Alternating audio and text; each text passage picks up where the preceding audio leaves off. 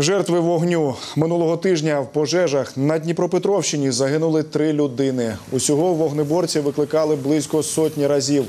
Більшість займань було в лісах та приміщеннях. У Дніпрі горіли геріатричний пансіонат та дев'ята лікарня.